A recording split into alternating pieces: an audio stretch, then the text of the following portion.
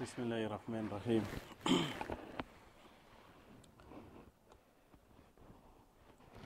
السلام عليكم ورحمة الله وبركاته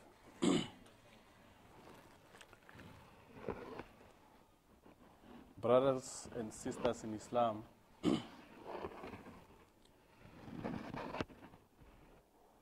we are grateful and forever grateful as an Ummah that Allah in the Quran refers to this Ummah in the most of beautiful references. and the reason why Allah refers to us in this beautiful way, it is because we, this Ummah, we are the followers of the best of mankind. In Surah Al Baqarah, Allah subhanahu wa ta'ala says, And thus we have willed you to be a community of the middle path, so that you may bear witness to the truth before all mankind, and the messenger might bear witness to it before you. Now, Allah subhanahu wa ta'ala puts some sense of responsibility to this ummah. He says that we are a community of a middle path, meaning that we are neither excessive nor are we stingy in our behavior and doing. This is a directive from Allah subhanahu wa ta'ala.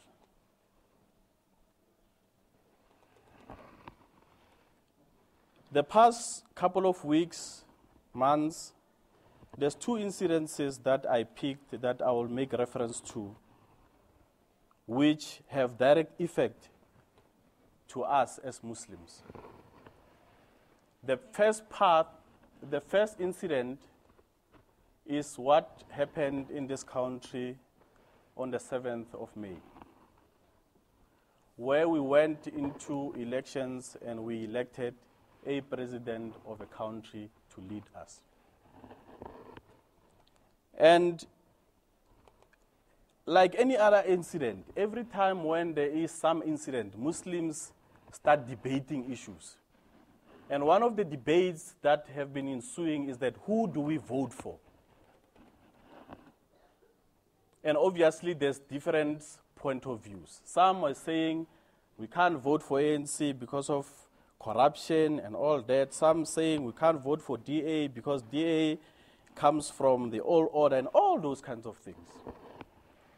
And you know, with corruption, it affects the rent, the rent affects business and all that and all that. Now, the reasons that I, we often hear are more personal.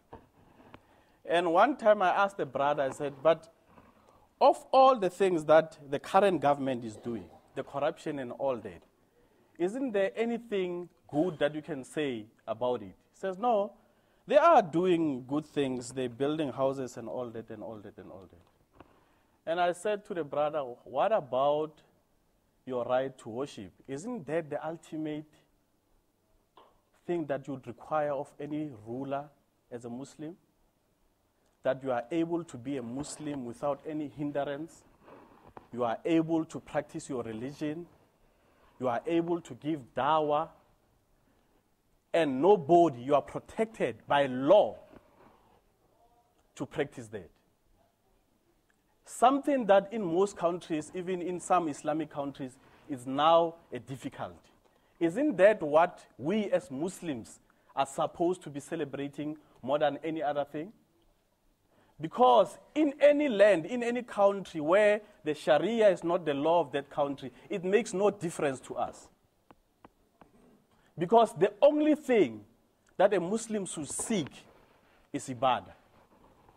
To be able to serve Allah without any hindrance. And that protection has been given to this ummah in this country since 1994 without any compromise. South Africa as a country is the only country that I know of that is Western inclined that has been consistent on the issue of Palestine. South Africa as a country is the only country that I know of as a matter of principle. They've taken a view with regards to Western Sahara, where Muslims in Morocco are suppressing other Muslims. And South Africa has been very clear with that regard, meaning that this government, as far as protection of the rights of the minority, has been spearheading that to the front. The second incident that is bothering us, that is giving us, if you love this deen, sleepless night, or it should give you sleepless night, is the issue of Boko Haram. It's all over the news. But the issue here is no longer about Boko Haram. The issue is about Muslims. What kind of people are these people who hijack kids and sell them and make all sorts of threats? What is supposed to be the response of us as Muslims? Are we supposed to make speeches against Boko Haram and say that what they are doing is wrong, it's un Islamic? What are we supposed to do? Obviously, the world is sticking together against Boko Haram, but ultimately it's going to be against Muslims. Now, I, I, I came up uh, uh, uh, around, around an article which was written by a certain Molana, they call him Sajad Nomani. I tried to get hold of him to confirm whether it is indeed him who wrote this article or who said these words. I couldn't, but somebody who's his student confirmed that indeed he did say this. And what is he saying? He's saying in this article how to avoid a bloodbath in South Africa. Now, these people, they went and made a research why in India are the Hindus killing Muslims? And these were their findings. On being asked about the cause of their hatred for, to, to Muslims, they said, You Muslims have become very prosperous in this country. You have large businesses and successful institutes. You see your, we see your prosperity amid the poverty that afflicts us and burn us. We see you eat and throw the leftovers in the, dead, in the dustbins and live lavish life, have lavish functions, jalsas, whereas we are suffering right next to you. We couldn't bear this pain, so we decided to kill you.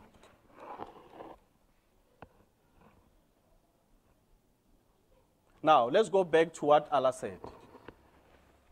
Allah says in the Quran, and I will repeat it.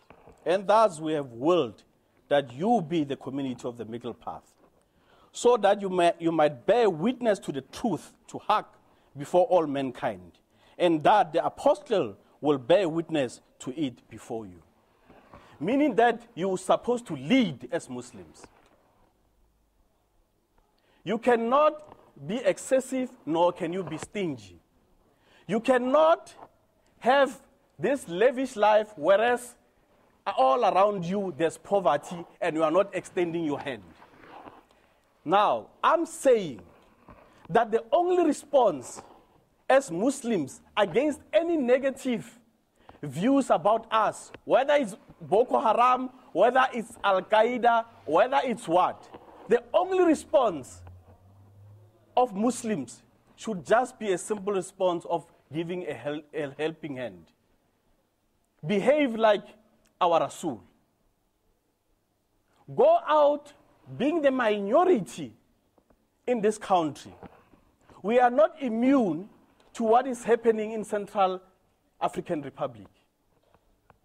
Muslims have been butchered and killed in DRC. Not because Muslims did anything wrong, but the hatred for Muslims is now gaining momentum. And we are not responding as Muslims. And I'm not talking about making speeches, because talking is cheap. We need to do more as Muslims to show what this deen is all about. So that we should show the legacy that was left for us by the Prophet, by his family, by the Sahaba, so that we can save ourselves from ourselves. We cannot continue looking at our minor differences. Imam Khomeini said that whilst you are arguing about whether to fold your hand or put them on the side, the enemy is planning to chop them off. Those are minor issues. Muslims are faced with critical and scary issues. And in this country, the majority of the poor have declared war already, not against Muslims, but against the rich. Because of they see their suffering.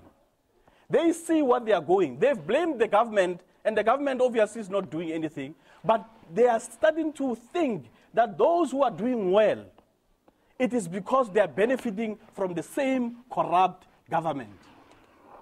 And when they come, and they will come, they will not choose who they're going to attack. They will attack each and every one of us who are well off. We need to be proactive. We need to start extending our helping hand, not turning people into Muslims, making people to take the Shahada. That is important, yes. But people don't eat the Shahada. They need more than that. They need compassion. They need to feel it. The Prophet was Al Amin before the advent of the Quran. Before he was called into prophethood, already he was the best of men.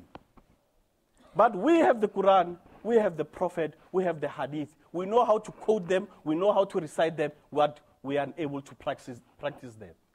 Why are we not beloved of all people?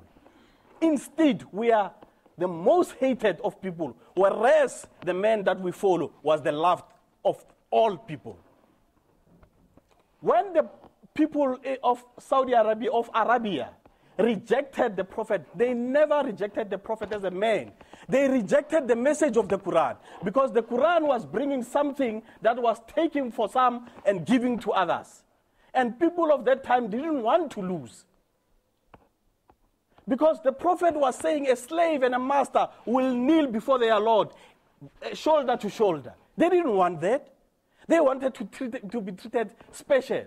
That is why they rejected the Quran. However, the Prophet was still one of the most beloved of men. Even when they wanted to kill him, none of them went and said that we have entrusted you with our property, our money, bring it back. They never did because they knew that their money is safe even under those circumstances. But Muslims can't be trusted today with anything. When you speak to a Muslim, it can't be on a shake of a hand. You must write it down, brother. And the Prophet knew it. That is why he said, Everything that you do, any deal that you do, please write it down. He knew how we're going to turn out. Because we would have deviated from the tenets and the principles of Islam.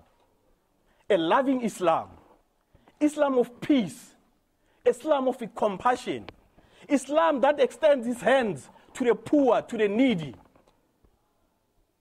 We cannot allow a situation where people blow up women and children and they say Allahu Akbar. Not in our name. We need to start showing the Islam that Prophet Muhammad left for us. That legacy is priceless. But it is our choice to accept it, to live it, or suffer the consequences. Assalamu alaikum wa rahmatullahi wa barakatuh.